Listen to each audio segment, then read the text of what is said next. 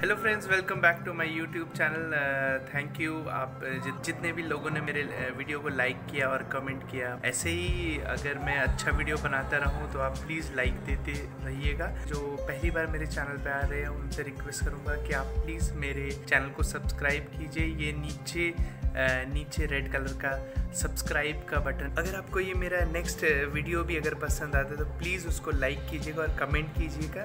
मेरे कुंभ के previous video में आपने देखा। अब इस वीडियो में आप देखेंगे हाँ बात कर लेना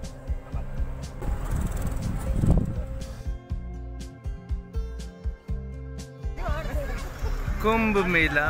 तो यहाँ पे हम लोग साउथ बैंगलोर इडली वाला से खाएँगे ये हमें रिकमेंड किया गया है। ये किसी कन्नड़ एक्टर का है तो अभी अंदर जाके पता करते हैं कन्नड़ एक्टर का नाम।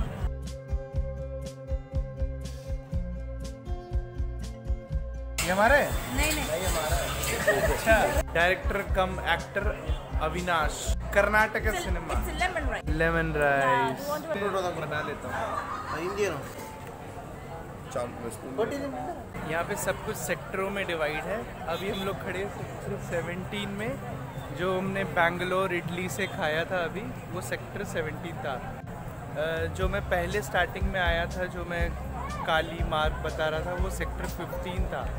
और सेक्टर सिक्सटीन में सबसे ज़्यादा और जो बड़े वाले अखाड़े होते हैं वो सेक्टर सिक्सटीन में है। शाम में साढ़े छः बज रहे हैं अभी। अब हम लोग सेक्टर चौदह में है। और देखो इन्होंने कितना अच्छे से बना रखा है इसको। कितने अच्छे से बना रखा है इसमें।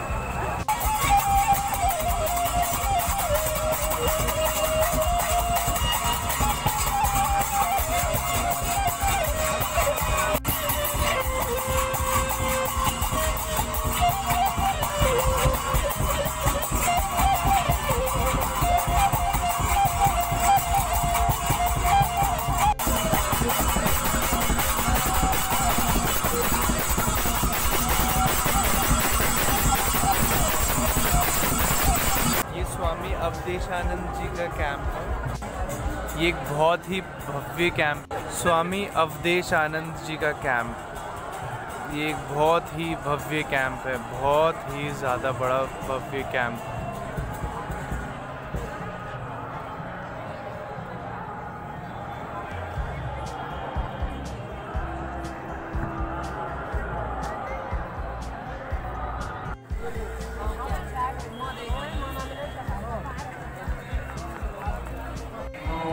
स्वामी अवधेशानंद गिरी जी महाराज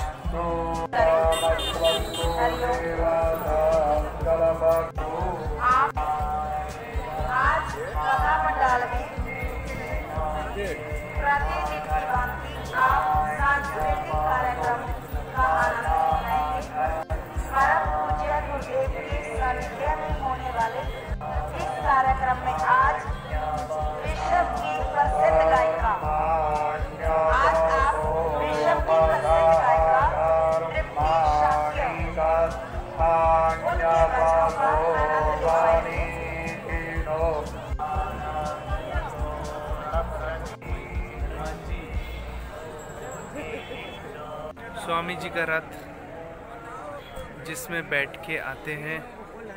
अब हम स्वामी जी के प्रदर्शनी में जाएँगे। स्वामी अवधेशानंद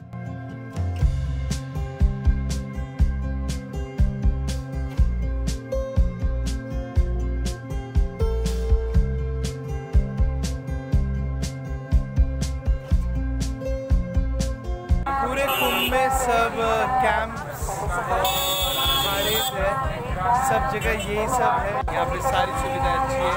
मुझे भी पर्सनली बिल्कुल अच्छा लगा। यहाँ पे सारी फैसिलिटी है। इसमें कोई प्रॉब्लम नहीं है। अगर आपको मौका मिल पाए, आप आइएगा।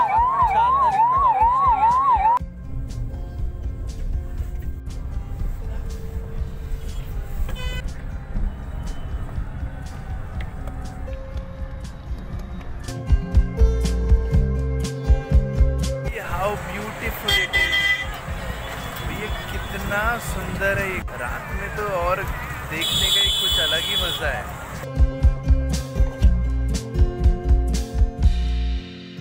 दूर दूर तक, जहाँ तक देखोगे आप, बस ये उजाला ही उजाला, पूरे दूसरी तरफ़ भी।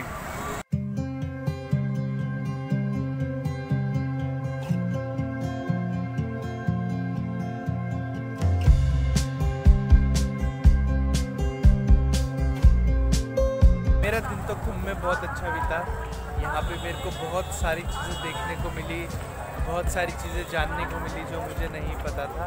मुझे इससे बताया गया था कि बहुत ज़्यादा भीड़ होगी, बहुत ज़्यादा ऐसा तो कुछ नहीं था।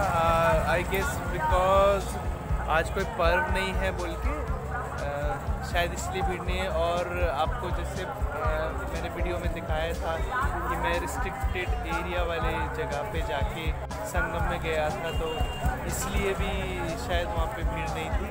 और जो मेन भीड़ थी मैं वहाँ तो गया ही नहीं। तो हो सकता है इस वजह से मुझे भीड़ का नहीं पता चला। लेकिन ओवरऑल ये बहुत ही अच्छा है बहुत ही बढ़िया था। आ, मैं कभी कुंभ में आया नहीं था ये मेरा पहली बार था। ये अर्ध कुंभ है। और मैं उम्मीद करूँगा कि अगले महाकुंभ में भी मैं आ पाऊँ।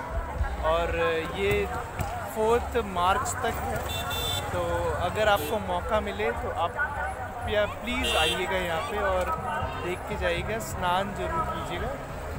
मैं तो नहीं किया, मैं बाद में आऊँगा। चार मार्च अभी ख़त्म नहीं हुआ है तो मैं दोबारा आके, हो सकता है मैं दोबारा आऊँ और तब अपना स्नान करने जाऊँ। तो ये बोल के मैं आज का ब्लॉग ख़त्म करता हूँ। आपको, अब मैं कल मिलूँगा। बाय